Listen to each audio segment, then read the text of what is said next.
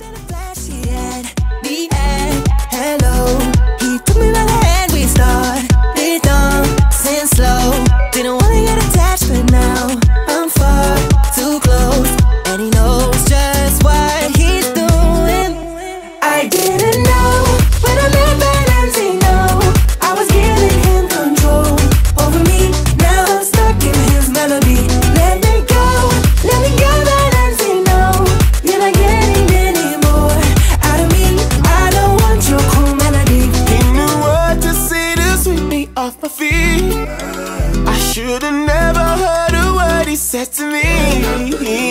I was comfortable with ignorance split Cause I told myself I wouldn't fall for it.